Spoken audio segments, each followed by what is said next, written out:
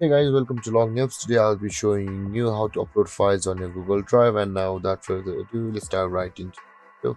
Now to upload files on your Google Drive, first open up your preferred browser as I've already Google Chrome and on the search bar click over there and type in drive.google.com like this and hit enter and after that you'll be directed to this page or if you have not yet logged into account on browser first you'll be required to log into your uh, google account in order to be able to access your drive. And after you land on this page after logging into your google account you can upload your files by two ways uh, there are many kinds of files eligible uh, on your google drive. You can upload almost anything except the pirated softwares i guess. And uh, with that being said to upload your files you can do it two ways. Either you can drag and drop your files whichever may be. You can also upload a folder. You can see when i try to do this uh, you can see there is a drop files to upload them into my drive can also upload your folder the video file over here. This is a video file.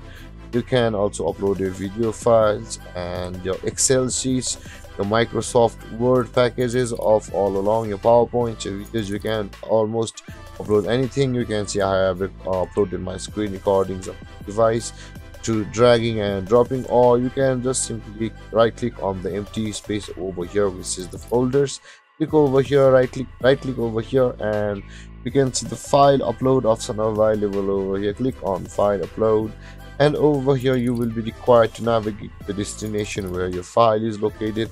You can almost you can see uh, upload your pictures your videos your home shortcut i guess and your folders. You can upload your flps your musics and your composition about anything over here. And after you choose your folder or your file which you want to upload click on open and you can see almost anything is uploadable. And you can see guys it has been uploaded.